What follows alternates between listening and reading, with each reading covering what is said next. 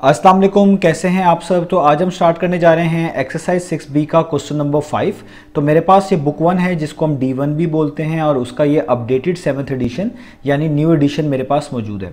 तो इस new addition का ये चैप्टर नंबर सिक्स चल रहा है। मैंने इस चैप्टर के नेम से एक सेपरेट प्ले बना दी हुई है।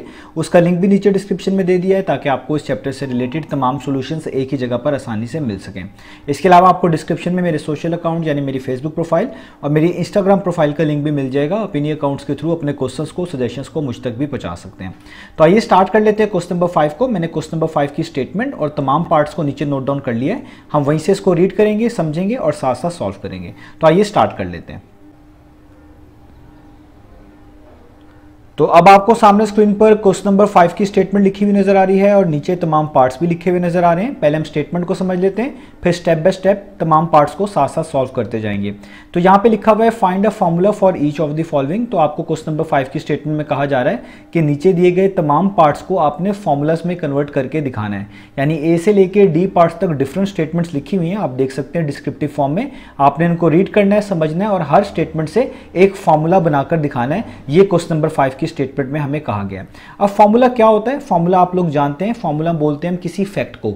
किसी रूल को। जब भी कोई मैथमेटिकल एक्सप्रेशन दो या दो से ज़्यादा क्वांटिटीज़ को आपस में रिलेट करती है तो हम उस चीज़ को भी फॉर्मूला बोलते हैं। या आप कह लें कोई इक्वलिटी का साइन आपको नज़र आए और उसके दोनों तरफ़ कोई एक्सप्रेशन लिखी हुई नज़र आए, हम उस चीज़ को भी एक तरह का जनरली फॉर्मूला बोलते हैं। तो आपने इन ए से लेकर डी पार्ट तक जो स्टेटमेंट्स लिखी हुई हैं, इनको कन्वर्ट करना है इसी तरीके के किसी फॉर्मूलाज के अंदर। तो आइए स्टार्ट करते हैं सबसे पहले पार्ट नंबर ए से। तो आप देखें पार्ट नंबर ए में क्या लिखा हुआ है, मैं ऊपर से रीड करूँगा और उसका आंसर नीचे कोट करता जाऊँगा। तो ऊपर लिखा हुआ है product P of three numbers X Y and Z तो ए पार्ट में लिखा हुआ है कि आपने एक फॉर्मूला बनाना है किसका? प्रोडक्ट का। और आप जानते हैं प्रोडक्ट का मतलब होता है मल्टीप्लाई यानी जब भी चीज़ों को मल्टीप्लाई किया जाता है, हम कहते हैं ये हमने प्रोडक्ट फाइंड आउट किया तो वो कह रहे हैं, आपने प्रोडक्ट का फॉर्मूला बनाना है और प्रोडक्ट को रिप्रेजेंट किससे करना है? कैपिटल पी से, ये भी बता दिया है। कितने नंबर्स के प्रोडक्ट का फॉर्मूला बनाना है? तीन नंबर्स का। कौन कौन से? एक्स वाई एंड जी तो आप एक ऐसा फॉर्मूला लिखेंगे जिसमें ये तीनों नंबर्स का प्रोडक्ट हो सके। सिंपल आपसे ये पूछा जा रहा है। और प्रोडक्ट को किससे रिप्रेजेंट करना है? पी से।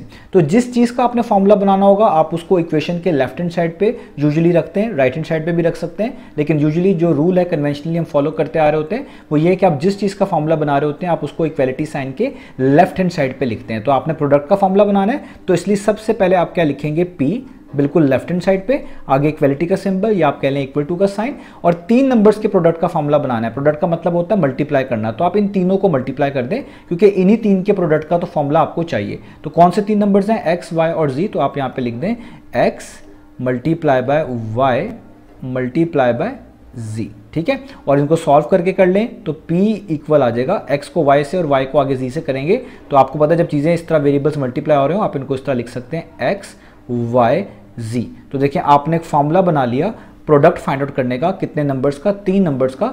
जब भी आप यहाँ एक्स वाई और जी की वैल्यूज़ पुट करेंगे, इनको मल्टीप्लाई करेंगे तो वो इनके प्रोडक्ट यानी पी के ही इक्वल आएगा। तो यही चीज़ एक फॉर्मूला होता है। यहाँ पे आप देख सकते हैं, ये पी रिलेट हो रहा है एक्स वाई और जी से, और बीच में आपको इक्वलिटी का सिंबल भी नज़र आ रहा है। यही एक फैक्ट है, यही एक रूल है, इसी को हम फॉर्मूला बोलते हैं। तो ए पार्ट का आंसर तो हो गया, अब चलते हैं बी पार्ट की तरफ़। तो देखिए बी पार्ट में हमारे पास लिखा हुआ है कि आपने सम फाइंड आउट करके दिखाना है। सम और उसको किससे रिप्रेजेंट किया जा रहा है? एस से। सम एस निकालना है किसका? Of the square of P P के स्क्वायर का। अब किसी भी चीज़ के आ, का स्क्वायर कहा जाए तो इसका मतलब है उसके ऊपर होल पार्ट टू आएगी। तो अगर आपको कहा जा रहा है स्क्वायर ऑफ़ पी तो इसका मतलब पी के ऊपर होल पार्ट टू आएगी। तो आपने सम निकालना है एक तरह का पी स्क्वायर का। And the cube of Q और क्यूब का मतलब होता है किसी भी चीज़ का क्यूब कहा जाए तो उसके ऊपर पार्ट थ्री आएगी।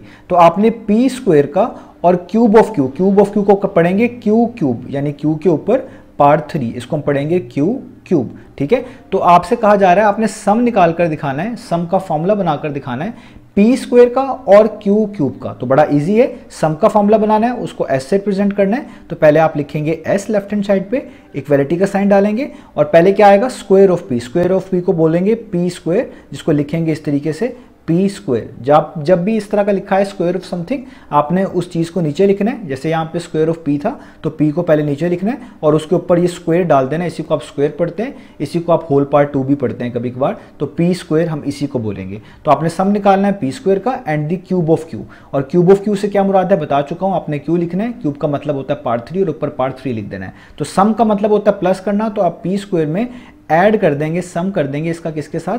Q raise to part three यानी क्यू क्यूब का। तो देखिए, आपने एक फॉर्मूला बना लिया सम का, जिसमें P square plus Q cube को ऐड किया जा सकेगा। यानी यहाँ पे पी स्क्वेयर लिखा हुआ है, इसमें क्यू क्यूब ऐड हो रहा है। जब आप ऐड करेंगे तो ये इनके सम के इक्वल आएगा एस के इक्वल आएगा, ये इस सम का फॉर्मूला बन गया। तो यहाँ पर इसका बी पार्ट हो गया। आगे आप चलें तो देखें लिखा हुआ है सी पार्ट तो सी पार्ट को पढ़ते हैं। तो सी पार्ट में लिखा हुआ है एवरेज अब आपने फॉर्मूला बनाना है एवरेज का, जिसको ए से कैपिटल ए से रिप्रेजेंट किया जाएगा। और फोर नंबर्स चार नंबर्स की एवरेज आपने निकालनी है। वो कौन कौन से हैं? M N P and Q तो आपने एक फॉर्मूला बनाना है जिससे चार नंबर्स की एवरेज निकाली जा सके।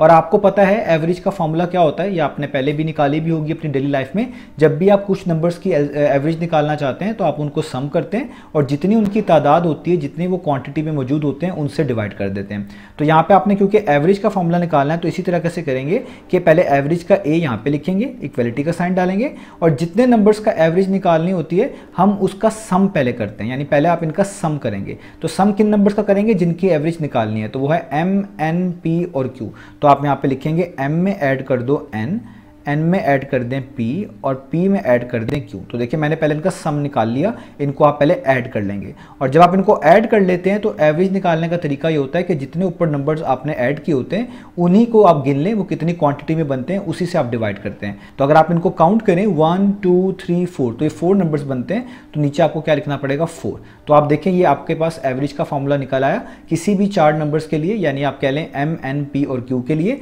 तो आप यहाँ पे एम एन पी और क्यू की वैल्यू को पुट करेंगे प्लस करके जब फोर पे डिवाइड करेंगे तो वो ए यानी एवरेज के इक्वल ही आएगा। तो ये हो गया हमारे पास इसका सी पार्ट हमने एवरेज का फॉर्मूला भी निकाल लिया।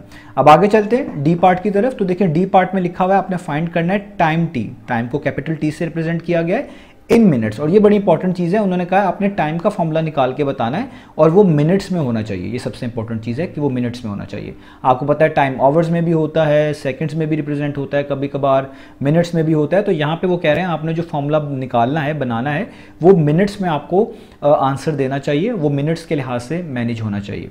तो आगे लिखा हुआ है time tin minutes for a train journey of A hours and B minutes तो वो कह रहे हैं, आप एक ऐसा फॉर्मूला बनाएँ, किसी ट्रेन जर्नी का, और जो उसकी जर्नी का टाइम है, जो टोटल जर्नी टाइम है, वो उन्होंने बता दिया, इस ट्रेन का वो है A hours and B minutes तो बेसिकली आपको टाइम का फॉर्मूला बनाना है मिनट्स के अंदर, या आप कह लें टाइम का फॉर्मूला निकालना है मिनट्स के अंदर, किसी ट्रेन की जर्नी का। और उस ट्रेन की जो जर्नी टाइम है, वो आपको बता दिया वो कितना है? यानी ट्रेन को जर्नी जो टाइम लगा है, वो कितना लगा है? जर्नी करने में कितना टाइम लगा है? A hours and B minutes तो आपने क्या करना है? जब आपने मिनट्स के अंदर टाइम को निकालना है तो आप देख सकते हैं यहाँ पे ए के साथ आवर्स भी आ रहा है। तो आपने इस आवर्स को भी मिनट्स में कन्वर्ट करना है, ताकि आप बता सकें कि टोटल जर्नी टाइम कितना बनता है। तो अब हम यहाँ पे डी पार्ट कर लेते हैं। तो डी पार्ट में सबसे पहले आप जर्नी टाइम लिखें जो ट्रेन का गिवन है, मैं यहाँ पे मेंशन करता हूँ कि जो जर्नी टाइम है जर्नी टाइम वो कितना है? वो ट्रेन का। ये मैं ट्रेन का आपको बता रहा हूँ, यहाँ पे आप लिख भी दें कि ट्रेन जर्नी टाइम ये ट्रेन का जर्नी टाइम है, जो उन्होंने खुद से बताया हुआ है, वो है A hours A hours and B minutes A घंटे और बी मिनट्स के अंदर, ठीक है? ए और बी की जगह पे कोई भी वैल्यू हो सकती है जस्ट जनरली उन्होंने ए और बी दिया हुआ है। अब आपको पता है आपने इस आवर्स को कन्वर्ट करना है मिनट्स में, और जब भी किसी चीज़ को घंटों से मिनट्स में कन्वर्ट करना हो तो मल्टीप्लाई बाय सिक्सटी करते हैं, क्योंकि आप जानते हैं कि वन आवर जो होता है, वो सिक्सटी मिनट्स के इक्वल होता है, यानी एक घंटे में साठ मिनट होते हैं। तो जैसा कि आपको पता है कि वन ओवर सिक्सटी मिनट्स के इक्वल होते हैं तो इसका मतलब है अब कितने भी ओवर्स आ जाएँ, अगर आपने उसको मिनट्स में कन्वर्ट करना है तो आप मल्टीप्लाई बाय सिक्सटी कर देंगे। तो जिस तरह अगर मैंने यहाँ पे लिखना हो टू आवर्स और मैं चाहता हूँ कि मैं आवर्स को मिनट्स में कन्वर्ट कर दूँ तो मुझे पता है इसका बेसिक स्केल बेसिक यूनिट के वन आवर सिक्सटी मिनट के इक्वल होता है। तो टू आवर्स किसके इक्वल होंगे? आप टू को किससे मल्टीप्लाई कर देंगे? सिक्सटी से। तो टू टाइम्स सिक्सटी कितना होता है? वन ट्वेंटी तो आप कहेंगे दो घंटों में एक सौ बीस मिनट यानी वन ट्वेंटी मिनट्स होंगे। तो इसी तरीके से आपने यहाँ पर भी करना है, यहाँ पे ए आवर्स लिखा हुआ है। आप इन आवर्स को जो है मिनट्स में कन्वर्ट करेंगे। कैसे? यहाँ पे अगर ए आवर्स है, इसको मिनट्स में कन्वर्ट करने के लिए क्या करेंगे? मल्टीप्लाई बाय सिक्सटी जैसे ऊपर बताया। तो आप लिख देंगे ए मल्टीप्लाई बाय सिक्सटी तो जैसे आप इसको मल्टीप्लाई कर देंगे सिक्सटी से तो याद रखिएगा, जब भी आप आवर्स में किसी भी वैल्यू को मिनट्स में कन्वर्ट कर रहे होते हैं और आप मल्टीप्लाई बाय सिक्सटी कर देते हैं तो अब आप आवर्स नहीं लिखेंगे, बल्कि उसकी जगह पर क्या लिखेंगे? मिनट्स यानी यहाँ पे आ जाएगा मिनट्स और ये रूल है आपके पास कि जब ये मिनट्स में आ गया, आगे भी बी मिनट्स लिखे हुए तो जब दो सेम यूनिट हो जाएँ तो आप इनको ऐड कर देते हैं, इनको प्लस करके लिख लेते हैं। तो आप इसमें प्लस कर देंगे कितने मिनट्स बी मिनट्स, ठीक है? ये इनका यूनिट है। आप इनको इकट्ठा भी लिख सकते हैं। मैंने इनको यहाँ पे सेपरेट करके भी फ़िलहाल लिख दिया है। तो आप नोटिस करें 60 को ए से मल्टीप्लाई करेंगे, कितना आ जाएगा? 60 टाइम्स a, यानी 60a और उसमें प्लस b कर देंगे तो ये हो जाएगा 60a प्लस बी ज़ाहिर बात है, इनको ऐड तो नहीं किया जा सकता, क्योंकि ये लाइक टर्म्स नहीं है। 60 के साथ ए लिखा हुआ है, यहाँ पे सिर्फ़ बी लिखा हुआ है। ए और बी दोनों लेटर्स मैच नहीं करते। अगर सेम लेटर्स होते हैं विद सेम पार तो तभी हम इनको ऐड कर पाते हैं। तो इसका मतलब आपका जो ट्रेन का जर्नी टाइम है, वो मिनट्स में आ गया। इसमें दोनों वैल्यूज़ मिनट्स में थी। तो आपने ट्रेन के जर्नी टाइम को किससे प्रेजेंट करना था? टी से। तो इसलिए आप यहाँ पे लिख लेंगे टी, क्योंकि उन्होंने ऊपर ही कहा था कि जो ट्रेन का जर्नी टाइम है, उसको आपने टी से रिप्रेजेंट करना है। तो ट्रेन का जर्नी टाइम हमारे पास टी आ गया मिनट्स के अंदर तो ये आंसर मिनट्स में ही है। आप देख सकते हैं सिक्सटी ए भी मिनट्स में है बी भी मिनट्स में तो ये हमारे पास फॉर्मूला बन गया इस ट्रेन के जर्नी टाइम को निकालने का, और जो कि है सिक्सटी ए प्लस बी जब आप ए और बी की वैल्यूज़ पुट करेंगे राइट हैंड साइड को सॉल्व करेंगे तो जो आंसर आएगा वो टी के इक्वली आएगा, जो कि ट्रेन का जर्नी टाइम है। ठीक है इन मिनट्स तो यहाँ तक आप देख सकते हैं हमारे डी पार्ट भी फिनिश हो गया।